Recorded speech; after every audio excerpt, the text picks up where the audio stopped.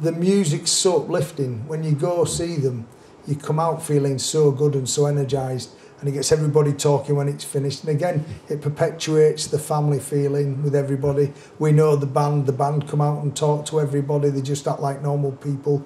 They don't play the gig, walk off stage, and that's it.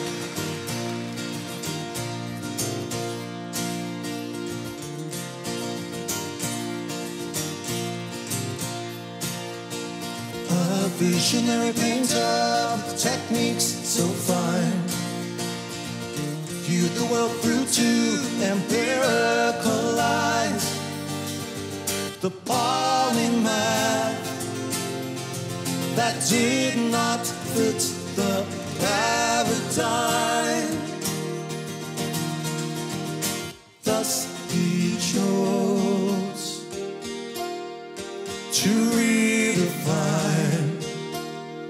With a curious mind, the Florentine.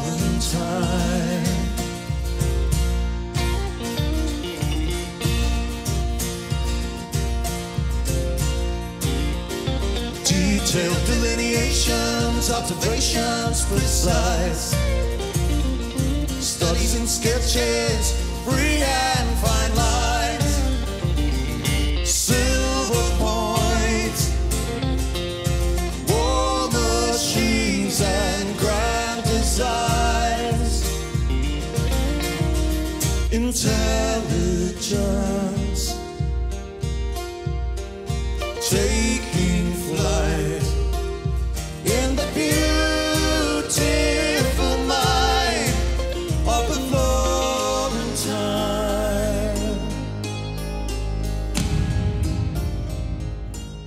Well, I discovered the band long before I discovered the Facebook group. Um, so I probably would uh, have been along here. Um, but would I be along here um, uh, interacting with with people that are now terrific friends? Probably not. I would, I would just be coming along, going to a gig and enjoying that and having a great time. For my sins, I'm, I'm one of the moderators on, on the on the Facebook group, and uh, uh, my, my my fellow moderators, um, um, uh, Sue Heather and, uh, and and Tobbe Janson, are are two people who uh, just just going back to what we were just talking about there. Just five years ago, I, I didn't know who these people were. I, I I'd, I'd never met them. I had no idea, and and now you know we're firm friends now. I know I, I do. I maintain the Twitter account, and you know I have a fair bit to do with the the Facebook side of things. Instagram is a bit new to me. David David started getting involved in that. Nick's very good at social media. Um, is as well. So there's it's kind of a lot of us doing it now. And I think it's important that um, that it's a that you do take personal interest. You know, I've been yeah, I've been checking to see what the response has been. Um, I certainly, personally, I'll be on Facebook. You know, probably every other day I'll have a look, um, just to make sure things are, you know, rolling, ticking along nicely. But we've got moderators who manage the forum and stuff. You know, um, so uh, it's not something that we're. It's something we choose to engage with because I think it's important. Um, and yeah, so we were careful in selecting the moderators, and um, we wanted someone or people with good sense of humour um, and with good judgment, and those two things are the most important when you're when you're um, moderating forum. And the three people that we chose, I think, have been an amazing choice. Now they do have to keep on top of it forums can very quickly go downhill if, if uh, when arguments start to ensue. The, the band themselves set down a, a specific set of rules for behaviour on the, the Facebook group, and uh, and part of our role is to uh, is to make sure that those you know those rules are are adhered to, and uh, sometimes it's really difficult because the, the, the subject matter of some of the band's songs. Um, uh, might, might be well certainly certainly yeah. there's, there's, some religious yeah, aspects um, not, not not overtly religious but uh, yeah. but uh, but some religious and some political aspects it's lovely it's manageable with the three of us because we just sort of you know off each other really and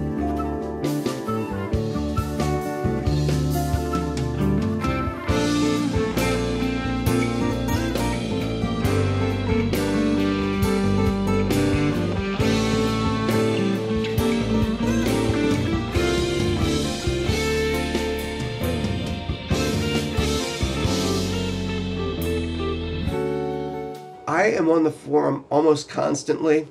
Uh, it's almost an addiction. Uh, I like following the conversation about the music.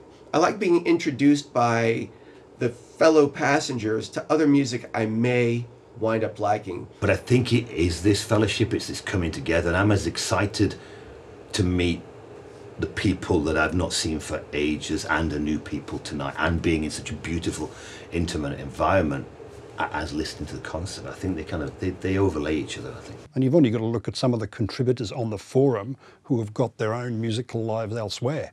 You've got Robin from Cosmograf, you've got, you know, Peter Jones from Tiger Moth Tales are always contributing to the Big Big Train forum too. So it's opening up the world for them, mm. not just the, the guys from Big Big Train. at first it was the music, but then when you start looking and you start interacting with everybody else, especially on the on the Facebook group, um, and also then coming to concerts and meeting people uh, and putting names to faces. Uh, and realizing that there's such a wide spectrum of people that all like the same sort of music that you do, and that that's what it's all about. Every, you know, in the mornings you wake up now, and you want to see who's who's made the next joke, who's made the next, uh, you know, observation, and it's uh, it's it's just interesting. it's it's wonderful. Just in the few years that I've been a, a fan, I've met so many people um, uh, going to concerts, going to gigs, uh, and uh, and online. Uh, made some really fast friendships. Um, you know, I, I, I didn't know this guy um, uh, t- till till a year or two ago. At the time that I joined it, it was um, th- there was uh, maybe I think there was maybe about fifteen hundred members in the group. So, and there was a nice intimacy about that. You know, it was.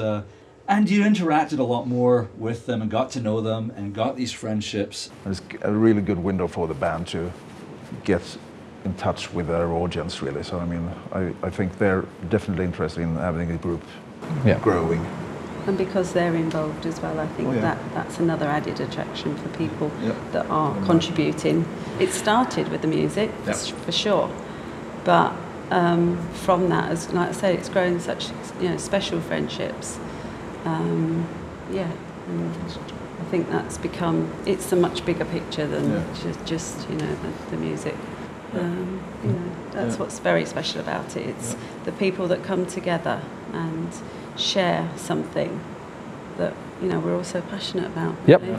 The the group being specifically about Big Big Train, you know, they- they're they're happy for people to um, to talk about. Uh, Almost anything, um, and uh, you know, a lot of good music links are, are, are are featured on, on the group, and uh, and actually when there's when there's downtime between albums or tours, um, not that there's that much because the, the, these so guys are so, going so on prolific. right now, yeah, yeah. Um, when there's a little bit of downtime, the the um, the the threads can can can fly all over the place. So That variety is what keeps it fresh, I Yeah. think. Well, there are there are there are similarities between the Big Big Train Forum and many other prog groups as well, but there is a certain difference. Do you know what? I think it's actually, I mean, it's, it's brilliant because it spreads the word, but again, I think it's such a small community, community in the sense that it feels like it's a, sm- you sometimes forget that you're actually spreading the word, which that can be a good thing in the sense you can be more yourself. yeah, but social media has such a wide reach, and you only So have to look at the people that are here for this tour, uh, and I think that's that's reflective of the Facebook group itself. Um, uh, we, we, we have people from all over the world um, who, are, who are contributing um, and who we now go to these gigs and we meet them face to face for the first time and it's, it's like meeting an old friend. Um, it's that that feeling of family, even though people are far and wide, and that's I think probably something that maybe is missing in society at the moment because of the way that we live our lives.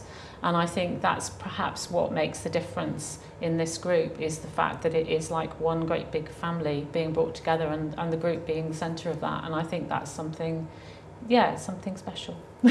And I think groups need to be out there. They need to be on social media.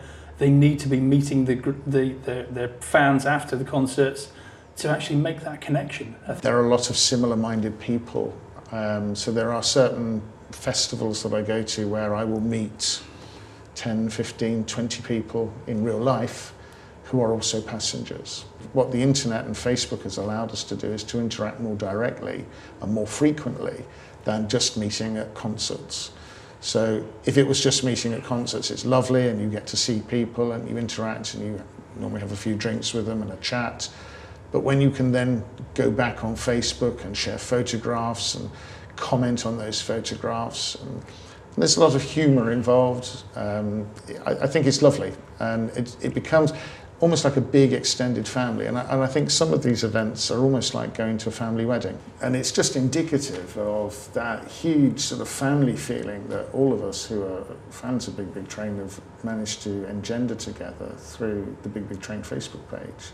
And I think the very fact we've got social media where we can we can interact far better now with the bands than we ever did. This has been an absolute revelation to me because, you know, in those days you actually had to write a physical letter and then wait weeks and, you know, you were lucky to get something back from the band that you were particularly fond of. So I think the whole thing about social media is it's brought bands and fans together. It's almost been like a, a seamless coming together of the two and I think it's been absolutely fantastic and especially with Big Big Train who really value their, their fans, look after them, love them the, the kind of the music has sort of brought us all together. And you know we, we talk freely and we everybody knows what everybody else is up to but in, in a good way you know there's we just want to know about each other's lives because we've all kind of now we've reached this age where we've all got our own particular stories to tell and we do want to share them. The forum is, is a lot of people have probably said this, but it is a little bit different from what you'd expect because, as we all know, social media can be a bit of a minefield at times. But you know, the forum feels like a safe and friendly place. You know, and the, the, there's a little bit of disagreement every now and then, but it's all you know done in a, in a nice way. And the, obviously, the moderators are amazing. So Yeah, the Yeah, moderators. absolutely. We, we love the moderators. They are nice. They do a great job. Uh, I can't think of any other, and I am involved with other sites, I can't think of another site that has moderators working so respectfully again though, but keeping it right and Yeah. keeping it, you know, Mm. and, and the band are involved in it as well. Yeah. That's the, the, the beauty. That the, it's not a forum that's detached from the band because they, they are happy to contribute on a regular basis. But of course, you, you'll have heard this a million times already. That there's the physical meeting and then there's the forum. Yes. Which is another meeting place. So, Yeah.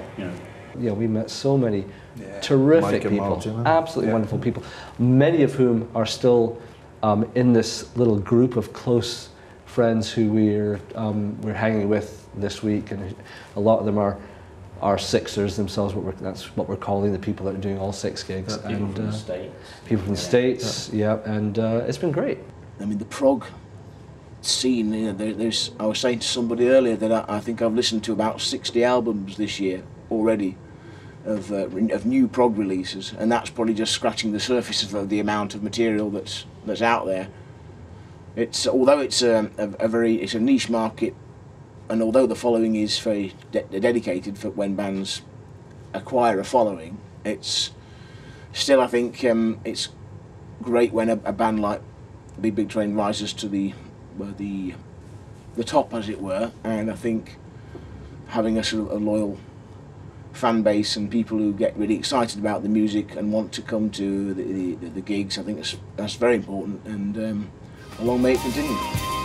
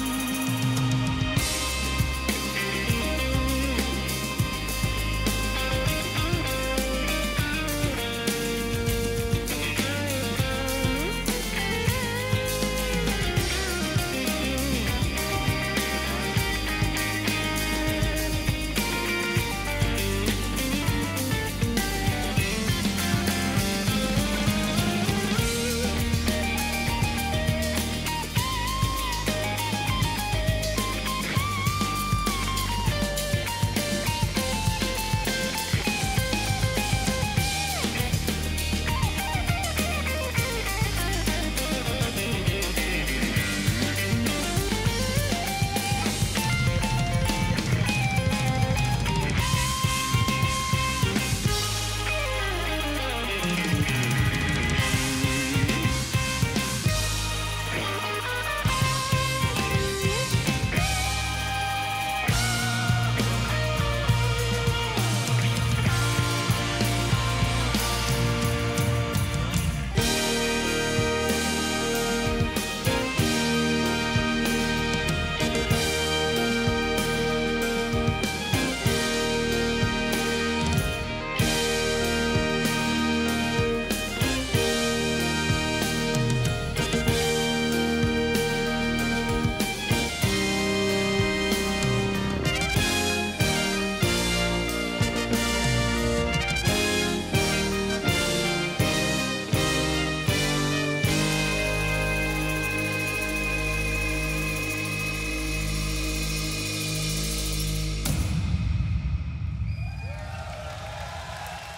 At the, at the Edinburgh, th- th- there's a, a very important um, passenger who passed away earlier this year, a chap by the name of Roy Hunter.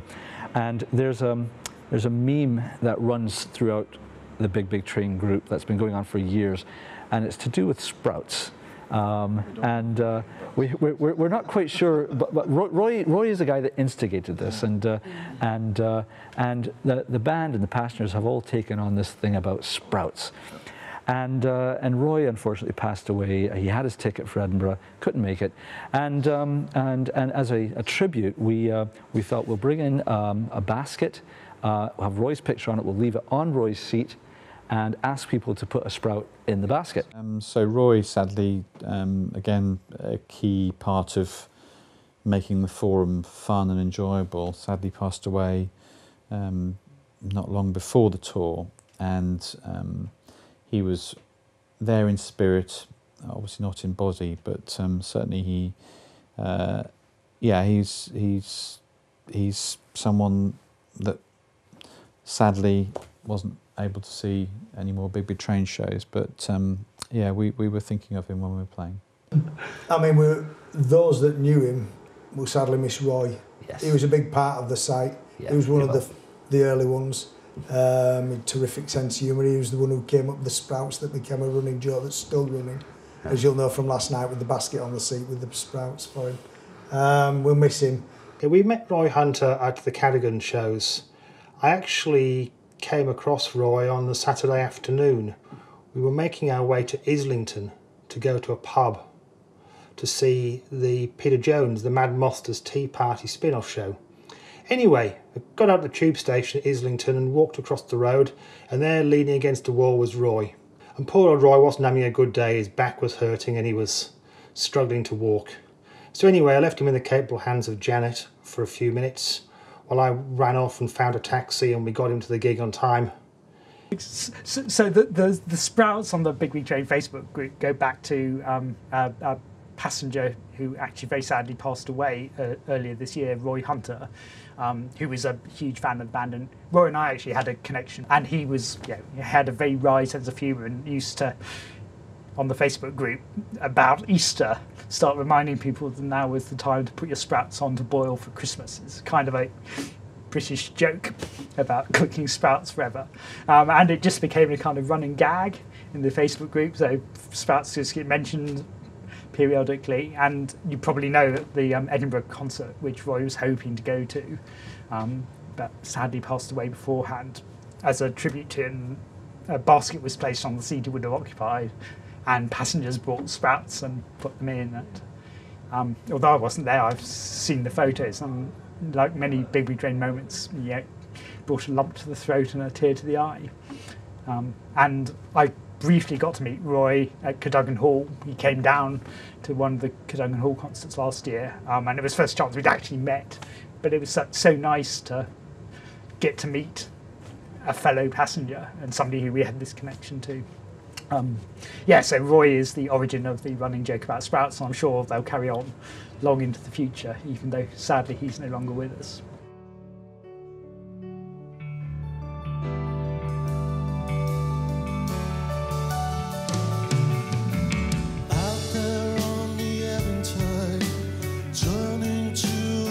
Setting sun, out into the great sea, to the pillars and then